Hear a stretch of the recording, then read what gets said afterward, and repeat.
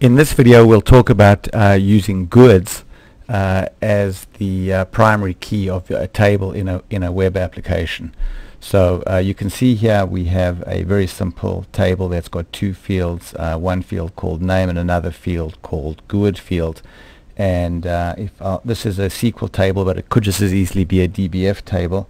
If I go to um, SQL Server Management Studio you can see here's my table definition. I have a field here called GUID field. It's a unique identifier, which is a GUID, and then another field called name, which is a varchar 50, which is the same as a character field for a DBF. And I've specified that this field here is the uh, primary key. Uh, one of the reasons that people would uh, typically use a, uh, a, GUID or a unique identifier as the uh, key field in a uh, record is that it uh, provides a very easy way to uniquely identify a record because uh, um, every GUID value is guaranteed to be unique. So let's go ahead now and see how we can automatically assign the value of the GUID when a new record is entered. So I'm going to go here and just type in Tom and then click the submit button and you can see that um,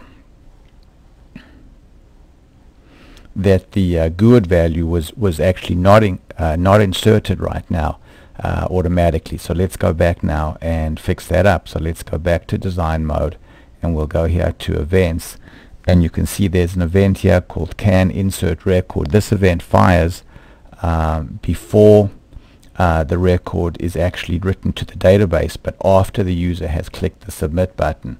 So this event allows us to um, in effect modify the data that was submitted uh, to the server. So I'm going to go here and say data submitted GUID field and now what I need to do is set the value of this field to a GUID. Now it turns out that uh, built into Alpha 5 is a function that uh, generates a uh, GUID value and let's quickly um, uh, go to the interactive window so we can test out that uh, function. So uh, let's go to the interactive window now. And um, the uh, function is called API underbar UUID uh, create. So unique identifier create. So you can see here that that returns a, a GUID value. So I'm going to just copy that function to the clipboard now go back to the grid and uh, paste it in. And then let's uh, save our grid as uh, go ahead now to um, working preview and now enter our new record and I'll type in Tom and now when I hit the submit button you can see that that GUID value is uh, automatically added. Now uh, in a real application there's no need for the user to actually see uh, this field at all. So let's go back now to design mode and then go over to fields and then go to this GUID field and we're going to go here and just simply say hide column. So now when we um, look at our grid, you can see here it's just Martin, Tom, Simon, and I'm going to go here and type in Fred, which will add that new record.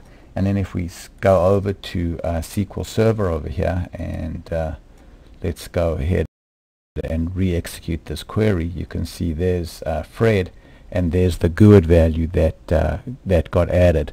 So using GUIDs as your primary keys in in your tables is very easy to do and Alpha 5 makes it very easy to automatically generate the GUID values when you uh, enter new records. Thanks very much.